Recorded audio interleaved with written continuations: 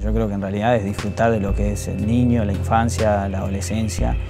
Y es difícil, si a los 10 años saber que vas a ser jugador de fútbol o no. Entonces, tratar de ir tomándotelo con calma, disfrutar de jugar y hacerlo de la mejor manera, como lo hacía yo cuando era niño.